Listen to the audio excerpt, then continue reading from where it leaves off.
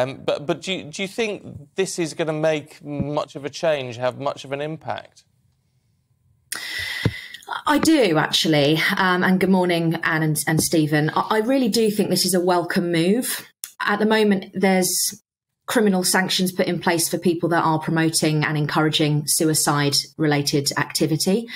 Self harm is a huge issue that we, we are seeing in this country um, and it's widespread. So, to bring this in line with the sanctions imposed by uh, suicide related activity on, online, I think is a, is a good positive step. And what I mean, uh, Stephen there alluded to the fact that you feel passionate about this for a very important family reason. So you know the impact this sort of online activity can eventually cause. Sadly, I do. In uh, in November 2020, so it was actually uh, two years ago to the day on Friday.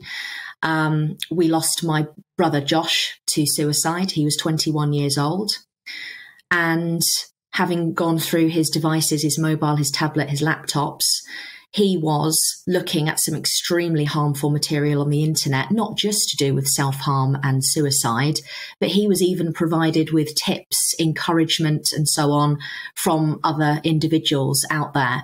So to know that this online safety bill is now going to include um, punishment, really, and justice for those individuals who think it's okay to comment and write those comments online um, is is something that I'm pleased to see. However, um, the online safety bill itself has taken far too long to to come out.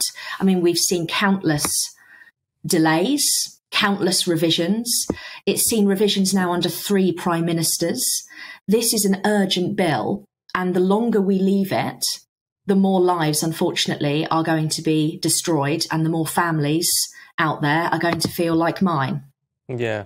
Um, look, I, I, wonder if, I mean, something like Ripple, which, I mean, correct me if I'm wrong, but sort of if, if you are looking at, as well as being a place you can go for, for help, it, it, it can trigger, it can pop up automatically, can't it, if, if someone's looking at something which may be harmful. Um, yeah.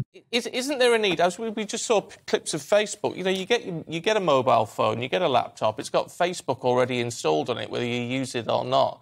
Isn't it time for something like Ripple or some similar service to be pre-installed on every device, so that if someone starts to look at something, they they you know it's being picked up and they can they can reach out for help.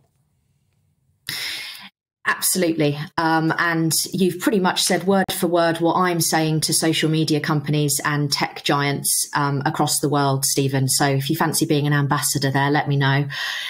Ripple is so, so important because it doesn't track or monitor any personally identifiable information whatsoever. But once installed, and it's a browser extension, so it can be put on Google Chrome, Microsoft Edge, and so on.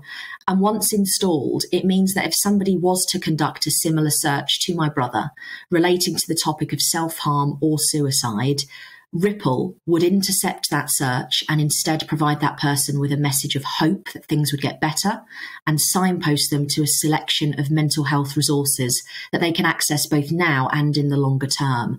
And to date, it's now had almost a million downloads in a, in a year.